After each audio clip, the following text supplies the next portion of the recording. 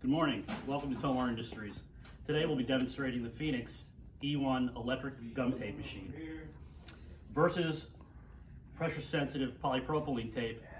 It's an easier and more effective way to seal boxes if you're doing multiple boxes a day. For packers, ergonomics, it's much easier for your packer to use. Let me demonstrate. It's also a safer, more economical seal. So let me demonstrate. We're all familiar with the conventional hand tape machine, or hand tape dispenser with polypropylene tape. On its normal box, this is the motion each day. Packers are coming in, they're, they're setting the box up, they're taping like this, they're grabbing it with this hand, putting it over, stretching it across, doing this, wiping it down, and sometimes you'll get this. You'll see how the box separates. Sometimes the tape isn't even securely sealed to the box.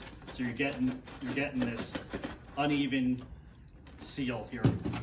So with with paper tape, with water activated paper tape, the motion is a lot easier.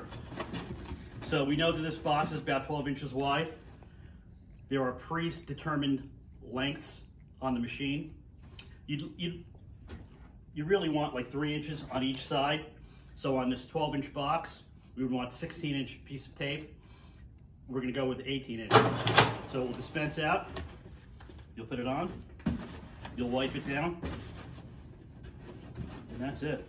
You got a nice, secure, really nice seal. This machine, as I mentioned, has a keyboard with predetermined numbers on it. As you can see, it goes from six inches to 45 inches. You just press a button, 27 inches, it'll give you a 27 inch piece of tape. Very simple, very easy to use, very easy to understand. If you have a lot of the same size cartons, there is a asterisk here. And what that'll do is it'll make it easy and repetitive. There's a photo eye here. So if I push this button, you'll see the, if I push like the number nine, you'll see the light come on. And anytime my hand breaks that, it'll give you a nine inch piece of tape. So you don't even have to push buttons anymore. It's easier for the packer. If I push it again, it turns off the light. Oh, if I push it again, the light will go off and that won't happen again. So it's a really easy machine to use, easy machine to load. It loads from the back, comes up, feeds through a plate right here, comes down. Very easy to use.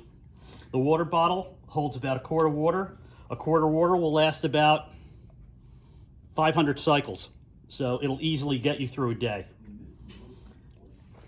The machine also comes with uh, an option to have a heater on it. This one has the heater. So the heater uh, heats the brush. There's a brush here in the front that acts as kind of like a paintbrush and wicks the tape so that it activates the adhesive, wets it down.